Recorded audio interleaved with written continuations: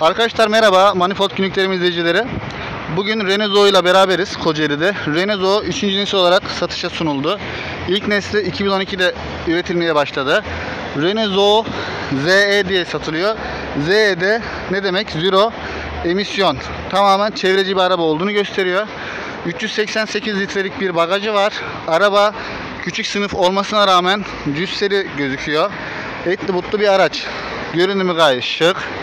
Aracın arka kapı kollarında bu şekilde basmalı bir açılış var. Burada parmak iziyle basıp açın diye size gösteriyor araç. Anahtarsız giriş araçta mevcut. Ben tarz olarak beğeniyorum. Aracın en büyük özelliği şehir içinde 350 e, maksimumda da 400 kilometre menzili olması. Elektrikli araçlar açısından bayağı iyi bir verisi var. ZE 50 olarak modeli geçiyor. Neden 50? Çünkü araç 52 kW'lık bir aküye sahip. Kapımızı açtığımızda içeride çok tarz ve şık bir malzemeyle bizi karşılıyor. Hakikaten sınıfına göre şuradaki malzemeler çok kaliteli arkadaşlar. Yumuşak, dokunma hissi güzel. Koltuklarda yarı deri.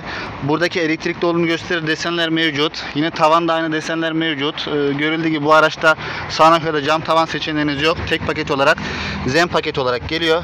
Yine Capture'da olduğu gibi buradaki iShifter diye geçiyor bu şanzıman e, değiştirme shifter'ı mevcut. 9 inçlik bir multimedya sistemi var. Buradaki kumaş kalitesi, hissiyatı güzel.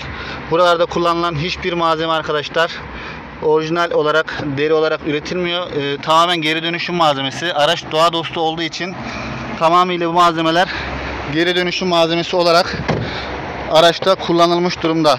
Arka koltuklarımız bu şekilde. Araçta şaft yolu neredeyse yok. Arkada iki USB girişi var. Koltuklarda cep yok arkadaşlar koltuk arkası. Sadece burada var. Bu da çok kullanışlı değil. Dönüşlerde falan düşebilir. Ortada bu şekilde bir kol dayamamız mevcut değil. Araçta auto hold ve elektronik park freni mevcut. Vites konumunda arkadaşlar ne var? Ee, N konumunda aracı bırakıyorsunuz. Onun dışında R var. Ee, N, R ve ileri var. Araçta park konumu yok arkadaşlar. Otomatik fren sistemi zaten devreye giriyor. Arka koltuklar biraz daha açıkçası söyleyeyim. Bagajımız 388 litrelik bir bagaj. Bu araç test aracı Renault'un. Ee, bagaj olarak da aracın sınıfına göre bence yeterli. Elektrik kapanma mevcut değil. Dış hatlarda bu şekilde arkadaşlar. Aracın yüksekliği şöyle baktığınız zaman çok alçak değil, yüksek arkadaşlar. Çok böyle küçük bir araç değil, onu söyleyeyim. Burada bataryalar mevcut. Yine arka koltuk altında bataryalar mevcut görüyorsunuz. 52 kW'lık aküyle beslenmiş durumda araç. Kapılardaki buradaki hissiyatlar gerçekten güzel. Fena değil. Burada tabi kaliteli, çok kaliteli malzeme yok arkadaşlar. Bunu söyleyeyim. Burada standart Renault malzemeleri var. Torpidomuz burada. Çok büyük değil. Burada ikinci olarak torpido mevcut. Klima kumandaları standart Renault'da kullanılan klima kumandaları arkadaşlar. Aracın bu şekilde dıştan detaylarını söyleyelim. Bir de en büyük detay aracın şarj yeri burada arkadaşlar. Buradan açılıp şey araç buradan takılıyor. Şu anki aracımızda burada telefon şarj var burada. Şu an gelecek 2022 modellerde mevcut değil. Onu da söyleyeyim. Standartta değil bu araçta mevcut. Arkadaşlar şu anda evet güzel bir deneyim olacak inşallah. Ee, ben bir buçuk ay yakın Smart'ı da kullanmıştım. Elektrikli araç konusunda bir, bir buçuk aylık tecrübem oldu.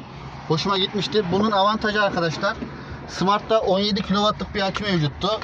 Ee, ben onda 105 kilometreye geçememiştim açıkçası şehir içinde. Ama bunda 52 kW'lık yani neredeyse 3 yani 3 katı kadar bir akü mevcut. Bundan dolayı da e, 400 kilometre bir menzili var. Menzil açısından kitabiye 400 ama şehir içinde 350 civarı kilometre yapıyor araç. Şimdi arkadaşlar sessiz elektrikli olduğu için aracın gayet sessiz bir şekilde kalkışımızı yaptık. Dışarıdan hakikaten gürültü mevcut değil arkadaşlar. Aracın oturum alanı gerçekten böyle çok alçakta değil yüksek kalıyor. Dediğim gibi şu kalite malzeme hakikaten malzeme kalitesi gayet güzel. Onu söylemiştim tekrar vurguluyorum. 9 inçlik dokunmatik ekran Türkiye'de bu şekilde sunuluyor ama Avrupa'da biraz daha dikine ekranlarla satışa sunuluyor. Türkiye'ye gelen paketlerde Zoe'nun ekranı bu şekilde. Apple CarPlay'de araçta yine mevcut arkadaşlar. Şimdi şu an klimamız açık. Klima gürültülü çalışmıyor. Gayet güzel. Nezih bir çalışma sesi var. Buradaki klima petekleri de güzel dizayn edilmiş arkadaşlar. Araçta oturum yüksek. Yani benim boyumda şu an 1.83. Şu an yüksek konumda oturuyorum. ve çok mesafe ya yine de yani yüksek konuma göre mesafe var mı diyelim. Mesafe evet var. Bence yeterli.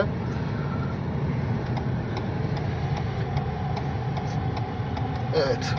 Direksiyon konumlandırma şekli güzel. Direksiyon 3 kollu. Buradaki kalite güzel arkadaşlar. Korna çalışımız yine dart şeklinde. Direksiyonun ortasındaki bu metal detaylar da güzel. Çukur geçişine bakıyorum aracın. Evet sessiz bir şekilde çukurdan geçiyor ve araç çok sarsmıyor. Aynaların büyüklüğü araca göre arkadaşlar aracın boyutuna göre gayet büyük. Hatta bazı büyük araçlara göre de bazı büyük araçlarda küçük ayna olmasına rağmen bunda hakikaten gayet güzel konumlandırılmış. Şimdi elektrikli araç tecrübesinde bir buçuk ay yaşamış olan bir do- dostunuz, arkadaşınız olarak ben bunu tavsiye ediyorum şu an. Türkiye'de Renault'un kendi burada şarj istasyonu da var bildiğim kadarıyla. Ben bunu Zest'te kullanmıştım Smart'ı. Orada yaklaşık 1 kW'ı 5 TL'ye geliyordu elektriğin. Türkiye'de yavaş yavaş zaten şu anda 2021 itibariyle %0.3 Türkiye'de elektrikli araç satışı vardı. Piyasadaki bulunmaz sayısı vardı. %0.3. Bu sayı gün geçtikçe, yıllar geçtikçe arkadaşlar birkaç yıl içinde belki %3, %4'lük dilime gidecek. Yani her 100 araçtan 4'ü elektrikli olmaya başlayacak. Bunun ne faydası var? Çevreci olması, ondan sonra işte daha tasarruflu olması arkadaşlar. Bu araçları kullanmak için vesile olacak insanlar tarafından tercih edilecek. Benim özellikle bu elektrikli araçlarda Zoe'yi epeydir tecrübe etmek istiyorum. Bugüne kısmet oldu. Yani şu anki kullanım normal sakin konumda kullanıyorum. Gayet keyifli arkadaşlar. Eko'yu açtığınız zaman göstergede yine Eko yazısı çıkıyor. Buradan düz devam ediyoruz. Şimdi arkadaşlar bu hızlanırım araçla. Yolda arkadaşlar e, 82'lik limit var. O yüzden 88'i geçmeyeceğim ben. Şu anda bastığınız zaman aracın tepkisi güzel arkadaşlar hızlandığınızda. 364 kilometre şu anda menzil gösteriyor yol bilgisayarı. 39 bin kilometrede şu an bu araç. 2020 model. Bu üçüncü nesil arkadaşlar. 2012'de üretilmeye başlanan Zo üçüncü nesile başladı. Ha, Avrupa'da 2012'de başladı arkadaşlar. Türkiye 2014'te geldi. Bir iki yıllık arada fark var. Ama benim gördüğüm şu aralar Renault Zoe'nun Türkiye'deki talipleri arttığını düşünüyorum. Çünkü trafikte de daha görünür olmaya başladı. Yani bizim Kocaeli'de Gölcük'te olsun ya da şehirler arası yollarda görüyorum. Bir de arkadaşlar elektrikli araç alıyorsanız biraz da şehirler arası yolda gidebilmek için menzilin olması lazım. Şimdi Smart'la ben 105 kilometre yapıyordum. Yani çok düşük bir menzil. Buradan Sakarya'ya gidip gelmeye kalksam bile neredeyse kılı kılına gidip geliyordum. Ee, ama bunda 400 kilometre. Hadi 350 yapın. Buradan mesela çok rahatlıkla Ankara'ya yaklaştığınızda şarj edip Ankara'ya rahat girebilirsiniz. Ya da işte yarı yolda şarj edip e, rahat bir şekilde gidebilirsiniz. Bu menzil olayı arkadaşlar dikkatinizi çekiyorum. Elektrikli araçta ne kadar siz şehir içi kullanacağım deseniz de elbette ki bir e, şehirler arası yolculuk yapmanız icap edebilir. Ha ikinci araç olarak eşinizi alıyorsanız ya da ikinci araç olarak e, evinize tercih ediyorsanız tabii ki menzilin çok büyük bir önemi kalmayabilir ama inanın Smart'taki bu şarj sıklığı 100 kilometreden dolayı şarj sıklığı biraz insanı şey yapıyor yani. Benim şarj istasyonu bana 9 kilometreydi burada Başiskele'de. O bile sürekli şarja git gel git gel insanı biraz e, geriyordu açıkçası. Şimdi aracın oturumunu beğendiğimi söylemiştim. Şöyle giderken arkadaşlar sessizliğine bayılıyorsunuz zaten. E, böyle oturduğunuzda ayak mesafesi güzel arkadaşlar. Buradan diz mesafeniz güzel. Yani bayağı bir şey. Direksiyon yükseklik ayarımız mevcut arkadaşlar. Hem yükseklik var hem derinlik var. Çok güzel bir şey. Hız sabitleyicimiz burada var. Apple CarPlay üzerinden e, araç normal şeyi gösteriyor arkadaşlar. Yoldaki işte hız levhalarını falan burada görebiliyorsunuz. O da gayet güzel ve şık arkadaşlar. Bir de arkadaşlar anahtar da bu şekilde. Anahtarı da göstereyim. Anahtarsız giriş var araçta. Arabadan uzaklaştığınızda kapıyı kilitlediği için kapılar kilitlenmesini istemiyorsanız arabada bırakacaksınız anahtar. Gayet şık ve kaliteli bir anahtar arkadaşlar görüyorsunuz bu şekilde. Bu da güzel. Şimdi birazdan bir yokuşta aracı bir test edeceğiz. Yokuş çıkarken.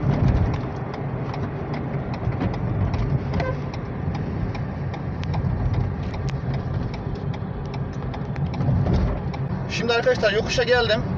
Auto hold var zaten araçta. Aracı tutuyor yolda. Bak şu an durdum. Vites konumu bakın buradan neye aldım? Bu da çok elektronik hassas arkadaşlar. Bakın bıraktım şu an. Frende değil ayağım. Araç durdu. Yani park konumuna isteyen bir araç değil. Tümsek geçişimiz bakın tümsekten de geçtik. Yani aracın süspansiyonu e, güzel. sert bir süspansiyon yok araçta.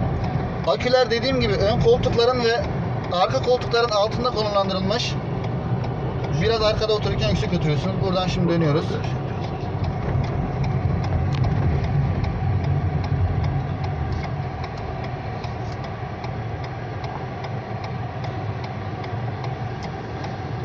Evet direksiyon dönüş açısında görüyorsunuz o da güzel.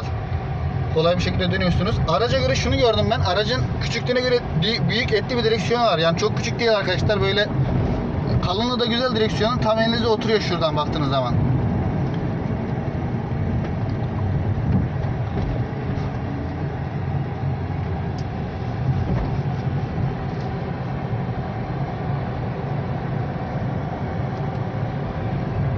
Dokunmatik de var arkadaşlar multimedyada. Buradan radyo, müzik, telefon. Ayarlarda işte sürüş yardımı var. Park etme yardımı. Otomatik park yok ama park etmede arkadaşlar sensörlerle işte etraftaki şeyleri gösteriyor araç. Araç keyifli bir araç arkadaşlar güzel. Sadece kullanırsanız arkadaşlar 400 bile yaptırmanız işlem bile değil bence yaptırılabilir. Ama tabii 4 kişi binersiniz. Yüklenirsiniz. 300 yapar, 350 yapar. Siz yine ortalama 300-350 arası şehir içi yapacakmış gibi e, alma niyetiniz varsa düşünün. Ama bu menzil şu anda Türkiye şartlarında iyi bir menzil olduğunu açık yüreklilikle söyleyebilirim yani.